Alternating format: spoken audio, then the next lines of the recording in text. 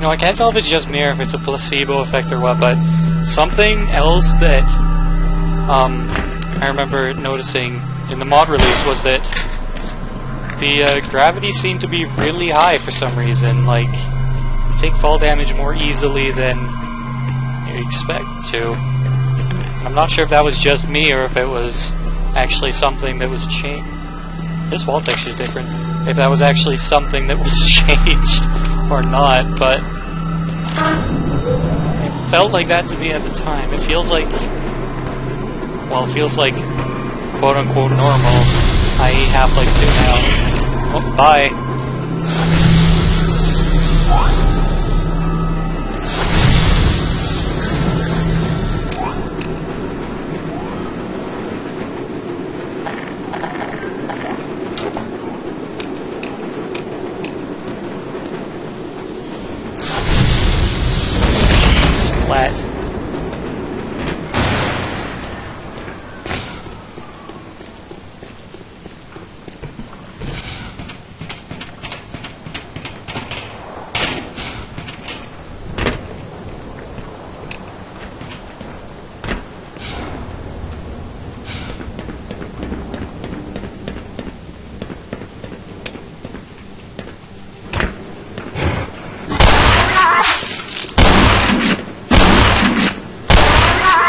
Wow, you're still not dead.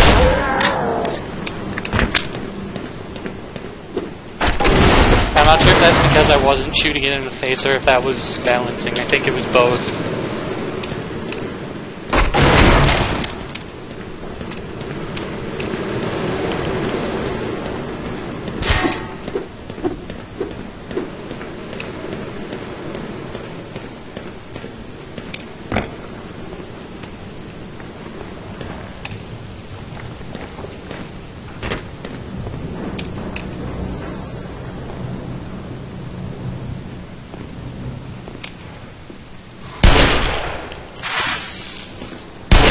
Oh, hey, it's on the ledge here now.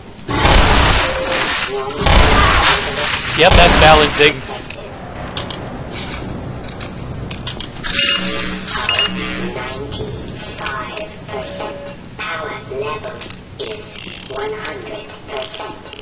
It's so nice to have that HEV suit voice back.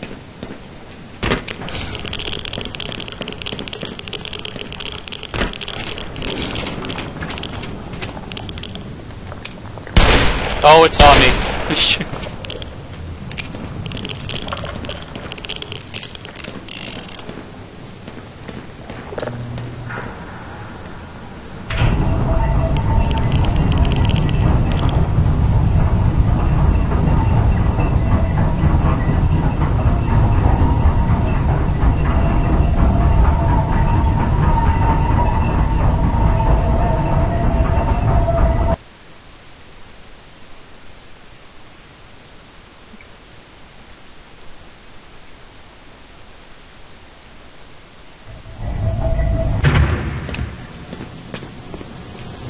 It's relevant since playing a Half-Life game, semi oh god.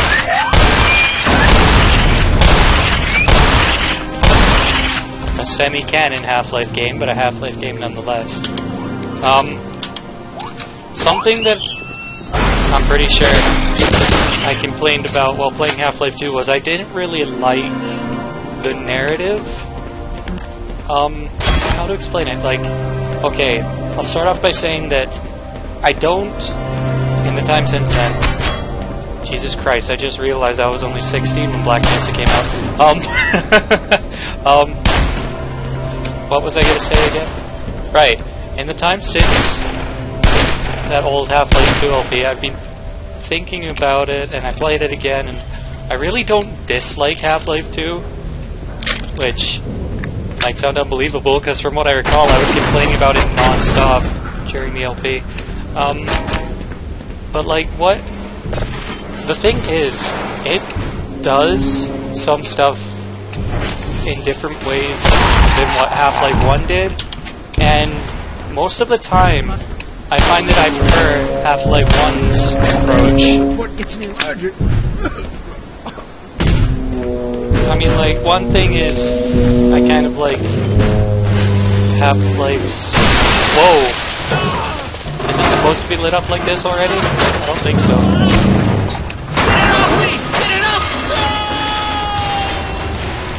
Sorry! Um, what was I gonna say? Right. Something I liked about Half-Life... Here, the... Uh, those are new animations, at least. I think that's the same model.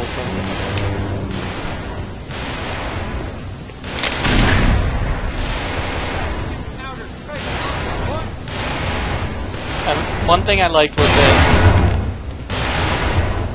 Ouch! Ouch! Ouch!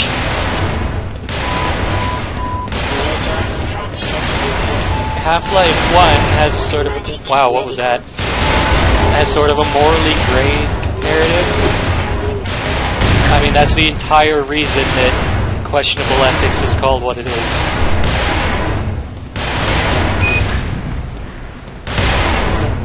Um. Ouch. Whereas in Half-Life 2, the Combine are just sort of pure evil dudes, and everything else sucks. Um. So there's that. Um, really though, what I mean when I say narrative is like, how do I explain this well? Um, well, one of the things that, obviously the reason Gordon Freeman's a silent protagonist is so the player can sort of self-insert themselves and immerse themselves in the game more. Um, I'm a very inquisitive and curious person. When something catches my attention, I'll probably have like a million questions about it. And um, the thing is, in Half-Life, like more often than not, stuff that I would have questions about is either explained by NPCs when they're telling me about it in the first place, or there's something in the level that explains it, or like a sign or something, or um, something else happens that requires my immediate attention, so I don't have time to worry about whatever's bugging me.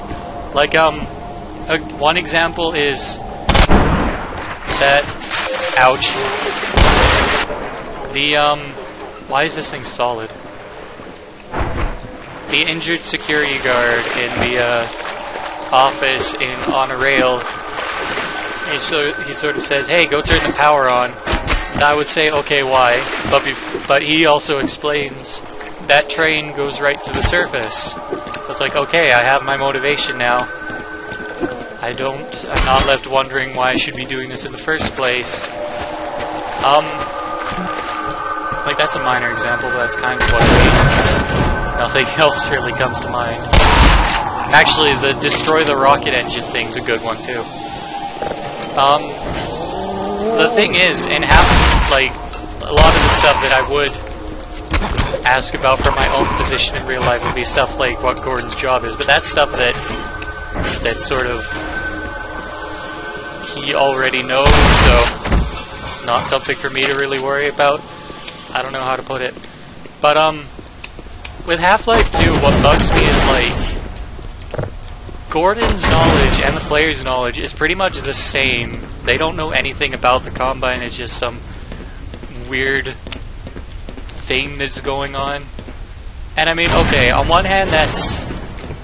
I can see why that'd be more immersive, because the player has the exact same knowledge as the player character, but what bugs me is like... Every, well, part, understandably everyone assumes Gordon already knows what the score is because no one knows that he's been asleep for the past 20 goddamn years. But, um, let's hope the game doesn't crash here like it sometimes did in the mod release. Um, like, if I were in that kind of position, then the moment I showed up on the train to City 17, I'd start asking what the hell is going on to whoever I could find nearby like the guys on the train, I probably say, "Where the hell are we? Where are we going? What's with the clothes? What is going on? What's the date? What happened to Black Mesa?"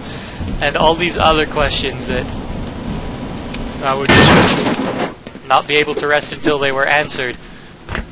But partially because Gordon's a silent protagonist, you can't ask about that kind of stuff. And everyone else just keeps assuming that you know what's going on, even though you haven't been seen for 20 odd years. Like, Barney just assumes you know what Nova Prospekt is, and while you can argue that it's because Gordon's a mute protagonist, as in mute, not just he doesn't speak, but he can't, um, you just there's no way to say, okay, hold up, someone please explain what's going on here, because I understand literally nothing, and oh my god, why is my frame rate dying? What is happening here?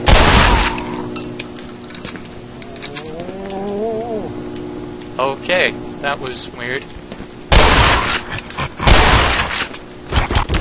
Ouch. Um, yeah, well, is that enemy? Yeah, you could say that Gordon's mute, so he legitimately can't ask about it, but even then, that I don't know. Because he could still just sort of shrug and like make a stop motion or something. I don't know. But it just it doesn't work for me because I'm the kind of person who can't rest until I understand. I can't really focus on doing something until I understand what's going on, so... I, I just find it takes me out of, the, out of the game a bit because I'm just sitting there going, God damn it, someone explain all of this. Because I don't see why I should do any of what you're telling me to do.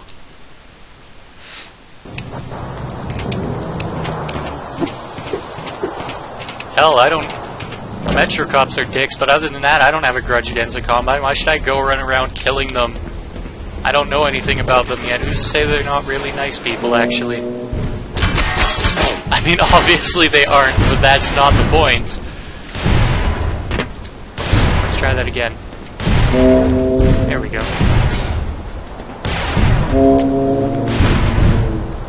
Uh, is that gonna work? I'm gonna assume it did. So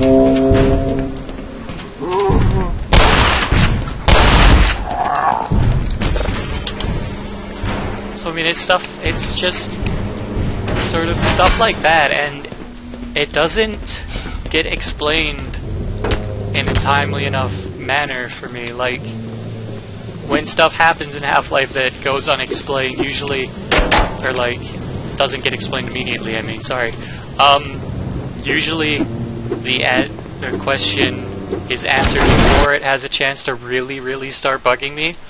But um, more often than not in Half-Life 2, it really just starts driving me crazy before it actually gets answered. Oh god. Wow, that was useless. Are they supposed to be freezing up like that before flying? I'm not sure. Um, yeah, I don't, I don't know how to explain it any better than that, and I really don't think that that is an accurate explanation of it, but like... Oh god. I don't know, I don't dislike Half-Life 2, but just that, the way that, like, one of my problems is when, a, is I'll pretty much enjoy any game that I'm playing, and I'll start picking it apart after the fact, like, Christ. I have, I will readily admit that, oh right, these guys. I will readily admit that I completely shamelessly have enjoyed Sonic 2006. It's a bad game, but I still had fun with it. I won't try and defend it as not a bad game, because let's face it, it is. I mean, I've said before on some YouTube comments, and I think in some videos, that I don't think it's anywhere near as awful as people say it is, because there were good ideas in it. I just realized how completely off topic this is. but, like, no, there's no real defense for it being a good game because it just isn't one. But you know, I still had fun with it. I don't, I don't feel that a pro that a game's quality and its entertainment value are intrinsically the same thing. Like good games are more often fun, but anyways, um, like I'll readily admit to that. But when a game really starts getting under my skin, then like every little thing that could possibly bug me will start bugging me. And that's kind of what happens with Half-Life 2 sometimes. Not all the time. Last time I played it, I had a blast. Um, Half-Life 2 update mod came out on Steam a while back. It adds HDR and makes the game look very fancy without making it look like the clusterfuck that cinematic mod is. Um, so, like, don't get me wrong, Half-Life 2 is not a bad game by any stretch of the imagination, and I don't dislike it either. But, um, just the things it does differently to the approach it takes to some things where it's different to Half-Life's approach and Black Mesa's by extension just doesn't appeal to me as much. It bugs me. Not necessarily a lot, but if it gets under, under my skin enough, then I, I can start bitching about it non-stop. Just sort of how I roll.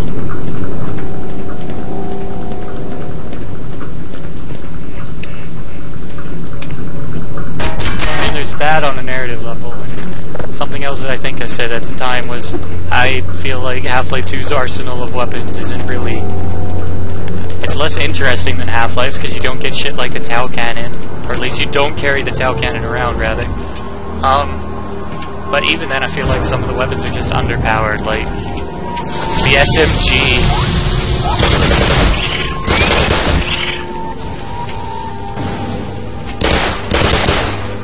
Like, Black Mesa here probably has the best SMG out of any Half-Life game. I don't think there's any real argument there. But, um, I just find the SMG, I feel like the SMG in Half-Life 2 is just shooting peas at everyone. And I hate it. The AR-2 is good, but you can carry almost no ammo for it. Same with the Magnum. The crossbow, um, it's not bad, but I don't particularly like it, because I'm not much of a sniper at most of the time, really. Um,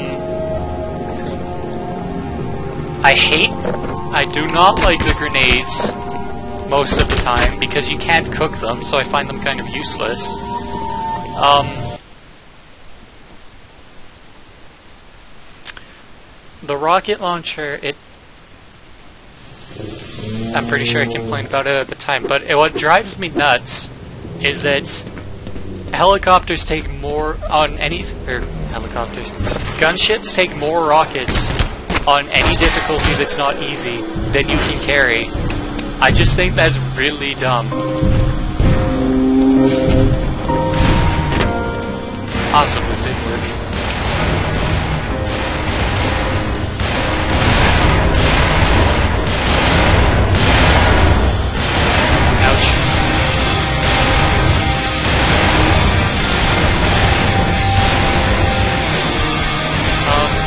The shotgun is easily my favorite weapon in Half-Life 2.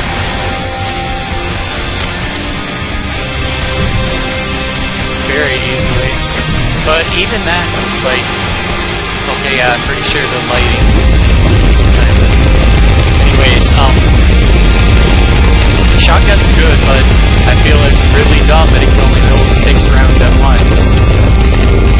And what pisses me off, in fact, I think it might be one of my least favorite things in the whole game. Oh, I guess it's true. Is how Combine soldiers and I'll secure this area.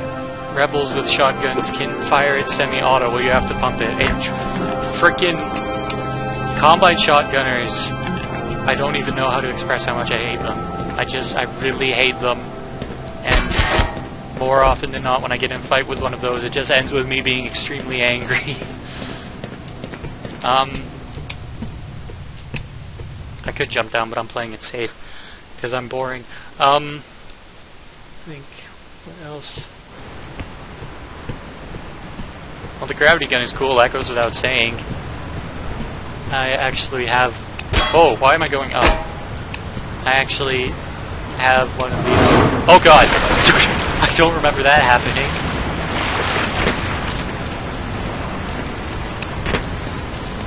Um, what was I gonna say? Right, I actually have the uh, NECA gravity gun replica sitting up on a shelf here. I really need to find a more permanent place to put this. I have one of the portal gun replicas as well because I'm a huge nerd. And the Skyhook replica from Bioshock Infinite.